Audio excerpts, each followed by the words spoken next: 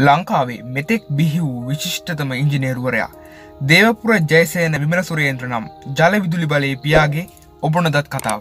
අද කතා කරමු ඒ ගැන.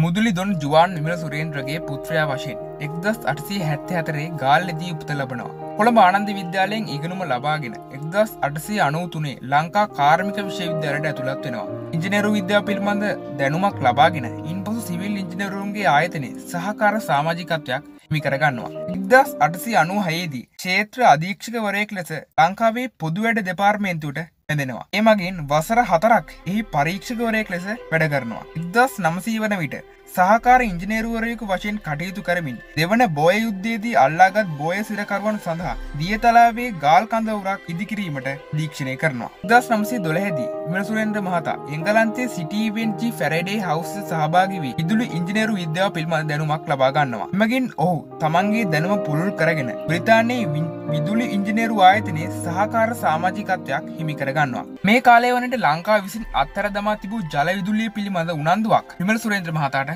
ඇති වෙනවා. එම නිසා විමසුරේන්ද මහතා නව යෝජනා කිහිපයක් ඉදිරිපත් කරනවා. විමසුරේන්ද මහතා නුවරලිය නගරයට විදුලිය සැපීම සඳහා ලංකායි පළමු කුඩා ජල විදුලි බලාගාරය බ්ලක් පූල්ලි නානුවය අතර ඉදි කරනවා. නුවරෙල්ලිය ගෙගරියව අතිරික්ත ජලය මේ ව්‍යාපෘති සඳහා යොදාගන්නවා. එක්දස් නමසය දහ අටේදී විබලතුරේන්ද මහතා ලංකාවේ ඉංජිනරු සංගමයට ලංකායි බලශක්ති උපයෝගිතාවේ ආර්ථික විද්‍යා වෙන මාතෘකාව යටතේ ප්‍රධාන දේශනයක් පවත්වනවා. මෙමකින් ඔහු වැඩිදුරටත් කියා සිටියේ ජලවිදුලි බල සංවර්ධනය සඳහා මස්කෙලිය ඔය කෙහෙල්ගමුවේ යොදා ගැනීමේ මේ රට සඳහා කාර්මික යුගයක් ආරම්භන බයි. ඉංජිනේරුවන් අතර විමලතුරේන්ත්‍ර මහතාගේ මෙම ව්‍යාපෘතිය සැක සහිත වෙන ඔවුන් විමලතුරේන්ත්‍ර මහතට හිනා වෙන තවත් සමරු කිව්වා ඔහුගේ මනස කල්පිත ක්ෂේත්‍රයන් කර ඇදී යන බව. ඔහුට දැඩිසේ පකීර්තියට පත්වන්න සිද්ධෙනවා. එක්දස් නමස නමසී විසි හතරදී ලක්ෂපාන ජලවිදුල යෝජනා ක්‍රමය ආරම්භෙනවා අනපේක්ෂ තත්වයන් හේතුන එක්තර නමසී විසි හතේදී එය අත්තිටවනවා එක්දස් නමති තිස්සටේ විදුලි බලාගාර ඉදිකරත් වැඩකතු නිල වශයෙන් එක්දස් නමති හතලිය පෙබරවාරි දහට වන දින ආරම්භ වෙනවා මේ ව්‍යාපෘතිය පළමු අදීර වූයේ මෙගාවොට් විසිපාක විදුලි බලයක් උත්පාදනය කිරීමයි ඒ සඳහා කෙහෙල්ගම ඔය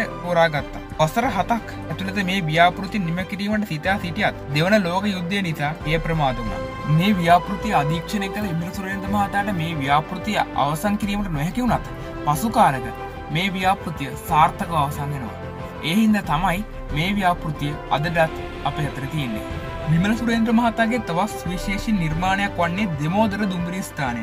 සුදු ජාතිකෙන් විසින් ඉදිකරන ලද දුම්බ්‍රිය මාර්ගය බදුල්ලෙන් අවසන් කිරීමට සැලසුම් කර තිබුණත් දෙමෝදරින් අවසන් කිරීමට සිදුවේ හපුතලේ කඳු වැටි අවසාන් නැති දැඩි බෑවුම් ප්‍රදේශ නිසයි. එහිදී නවතම සැලසුමක් ඉදිරිපත් කරමින් විමල සුරේන්ද්‍ර මහතා දුම්බ්‍රිය මාර්ගයේ බදුල්ල දක්වාම රැගෙනයාමට කටයුතු කරන ලදී. කොළඹ සිට බදුල්ල බලායන්න දුම්බ්‍රියක් දෙමෝදර දුම්බ්‍රී ස්ථානය පසුකර කඳු ගැටයක් වටේ ගොස් නැවත දුම්බ්‍රී ස්ථානයට යටින් ඇති උමගවස්සේ බදුල්ල බලා ගමන් කිරීම ලෝම විශ්මයට පත් කරන දර්ශනයක්. දුම්බ්‍රියක් එකම දිශාවකට ගමන් කිරීමේදී එකම දුම්බ්‍රිය ස්ථානය දෙවරක් පසු කරගෙන යාම මෙහි තියෙන විශේෂත්වය වෙනවා. උමකට ඉහලින් දුම්බ්‍රී ස්ථානයක් ඇති ලෝකේ එකම සර්පිලාකාර ලූපය මෙයම වෙනවා. මෙවැනි අතිවිශිෂ්ට නිර්මාණ රැසක් දෑට දායද කළ මේ සුවිශේෂී මිනිසා එක්දස් නමසී පනස්තුනේ අගෝස්තු දහය වන දින දැයන් සමුගත් අතර ඔහු කළ නිර්මාණ අදටත් මිල කළ නොහැක නිර්මාණ වනවා සේම වර්තමාන ශ්‍රී ලාංකිකයන්ට ඔහු මහත් ආදර්ශයක්.